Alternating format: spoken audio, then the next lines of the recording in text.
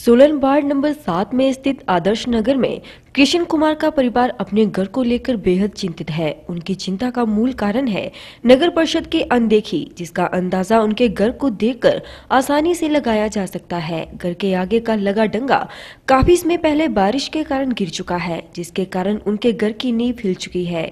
घर गिर न जाए, इसके लिए उन्होंने अस्थायी तौर पर टीने लगाकर बलियों के सहारे घर को सुरक्षा प्रदान करने का प्रयास किया है, लेकिन ये अस्थायी प्रबंध है। अगर इसमें रहते, घर के आगे का डंगा नहीं लगाया गया तो उनके घर को नुकसान पहुँच सकता है। कृष्ण कुमार ने बताया कि वे पार्षद से लेकर कार्यकारी अधिकारी तक शिकायत कर चुके हैं, लेकिन सिवाय आश्वासन के अभी तक कोई कार्यवाही नहीं की गई है। कृष्ण कुमार और उसकी पत्नी ने चिंता जताते हुए कहा कि उनके घर के आगे लगा डंगा पूरी तरह से गिर चुका है, जिसके चलते उनके घर को भी गिरने का खतरा पैदा हो गया है। घर की नींव पूरी तरह से हिल चुकी है, बारिश होने पर घर के गिरने का खतरा बना रहता है। इस बारे में संबंधित अधिकारियों और पार्षद को भी अवगत करवा दिया है। लेकिन सभी उनकी बात को अनसुना कर रहे हैं। उन्होंने कहा कि महज सोलन के अस्पताल में सफ़ाई कर्मी है, सात से आठ हज़ार रूपए वेतन में उनके घर का गुजारा बेहद मुश्किल से चलता है। तो ऐसे में वे घर की मुरम्मत नहीं करवा पा रहे हैं, इसलिए वे चाहते हैं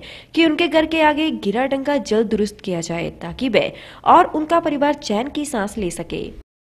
सर, आप देख ही सकते हैं कि अब बारिशों का मौसम चल रहा है। अब ये दंगा है जो गिरने की कगार पे ही है, सर।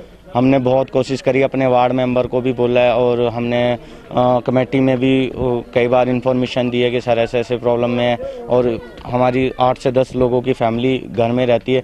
अगर जो रात को बारिश होती है तो हम सो सो भी नहीं पाते हैं डर के मारे कि कभी ऐसा ना हो कि घर गिर जाए।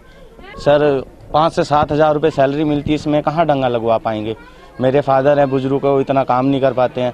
मैं हूँ और एक मेरा छोटा भाई आठ दस हज़ार, पंद्रह हज़ार रुपये हम कमाते हैं। उसमें आप खाने का खर्चा उठाएँ या अपना घर के लिए करें। तो बस ये बोल के रह जाते हैं कि कोई नहीं, हम करते हैं बात और करवा देंगे इस काम को, उसके बाद कोई पूछता ही नहीं है। डर ही लगा रहता है, सर। फैमिली है, बच्चा है, छोटा, एक बेटी है, बहन है, भाई है, चार बहनें हैं। और मम्मी डैडी हैं, सब घर में होते हैं तो डर ही लब बना रहता है, सर। हाँ जी, सर, मेरा नाम सोनिया है और मैं आदर्श नगर धोबी घाट से हूँ। तो यहाँ पे मैं सारा दिन अकेले घर में रहती हूँ ना तो डंगा डर, गिरने का बहुत डर रहता है। मेरे को डर बना रहता है क्योंकि सारे ड्यूटियों पे होते हैं। तो मेरे को तो डर ही लगा रहता है ना कि भाई मैं कैसे अकेले संभाल पाऊँगी। पूरा गिरने का, कहीं इधर से बच्ची रुड़क जाती है, कभी उधर को रुड़क जाती है तो फिर कैसे संभालूँ अकेले? परेशानी होती है मेरे को।